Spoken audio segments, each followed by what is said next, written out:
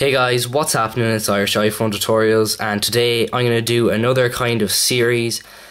And um, this one is going to be the top three Winterboard themes. Now, I'll probably only do this once, but um, yeah, it's going to be the top three Winterboard themes that are out at the minute on Cydia, and uh, they've been out for a while, so you guys might know some of them. But this is just my opinion. Of course, it's very hard to choose. But uh, these are the top three that I've used a lot. So without further ado, let's get in right to the video.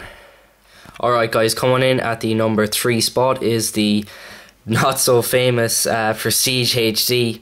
Uh, I'm sure a lot of you guys have heard of it before, but I'm going to put it in the video anyways. Now this theme is really a piece of art.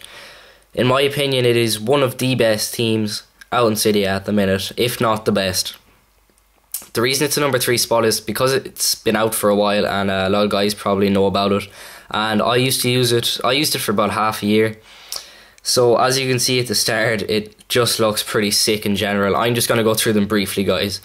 So as you can see, all the icons are small. They're really clean with a really clean font.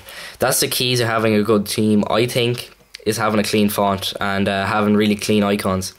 Now the background is just simple grey, but uh, the icons and everything makes up for it. Now this theme is really, really in depth. Everywhere you go, you'll be finding new things that um, the developer has put into the theme. I believe the developer's name is Seven. It's like S E seven E N.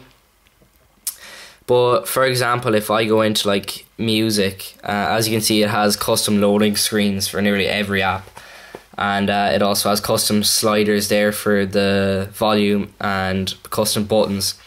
Everywhere you pretty much go in this theme, you're gonna find something that's custom, because uh, the developer has really put a lot of work into this theme. So that's the number three spot, and that is Prestige HD, guys. Okay, guys, coming into number two spot is a theme called Icon or Ayecon. Um, you guys have probably heard of that as well.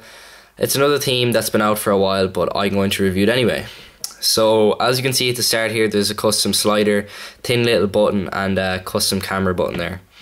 So once you slide off, you'll be greeted by a lot of nice icons with loads of detail, like the video icon for there. It's pretty sick.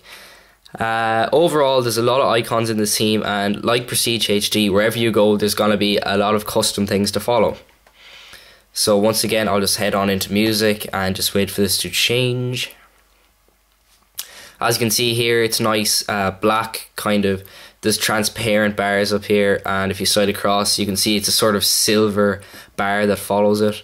Uh, all the buttons are custom as well.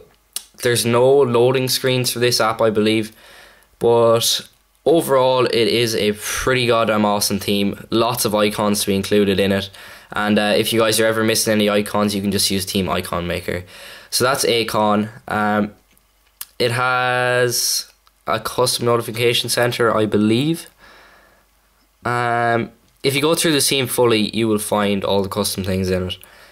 But uh, there's a lot of stuff in there. If I just head on into Winterboard for a second um, and scroll down, there's a lot of switches activated in this. As you can see, there's all the switches like the phone, messages, lock screen, and all that. So I'll just go into the phone to show you guys.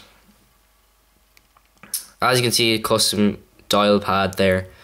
And uh, yeah, so that is Icon, guys. Okay, guys, coming in at the number one spot, you'll probably be surprised, but uh, the theme is called Flight. Now, what this is, is an icons theme. It doesn't actually have any other stuff to do with it. Now, if you're like me, I like just plain simple themes. I don't like them really fancy. So, in my opinion, that's why I give the number one spot.